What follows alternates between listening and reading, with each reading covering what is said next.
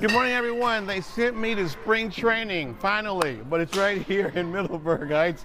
We're hanging out at DBAT with some really cool kids. Steve, come on in. I mean, we were. It was interesting because you guys just gave us a little sampling of what your baseball camps are like. Yeah, yeah. And some of those go for one day, some of those go for a week. Mm-hmm. So that's Yes, pretty sir. amazing. But it's all about training. I, I, I had backyard training. We went to the sand lot and we just played. But here, we're looking at these awesome guys. They can get really cool training from batting cages and more, right? Yeah, absolutely. So we give lessons.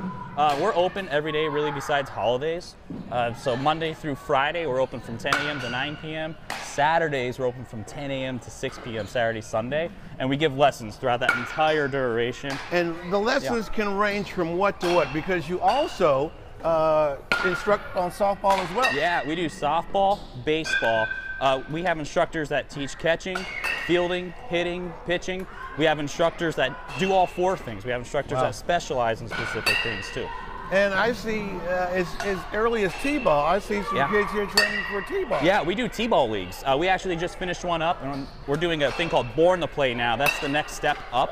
Uh, That will be in April, mid-April. Uh, that's kind of like coach pitch in a way. Okay. Yeah. Okay. And then um, now, let's say the season's already going.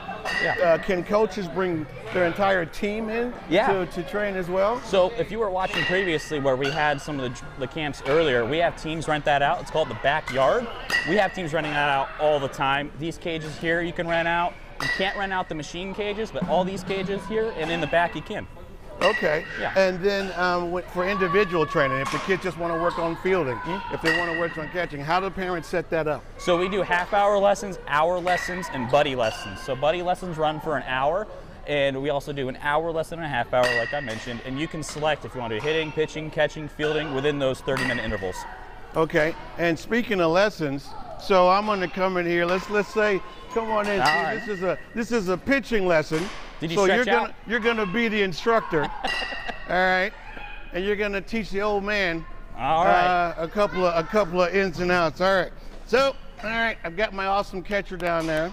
Here we go. First one.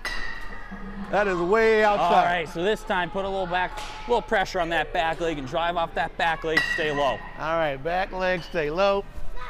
Look at that, Oh wow, strike. what a great teacher you Look are! at that, man. I didn't even know. I should stop on that one. Listen, man, I got, I got a lot, a lot of miles on this arm, man. All right, back leg, stay low.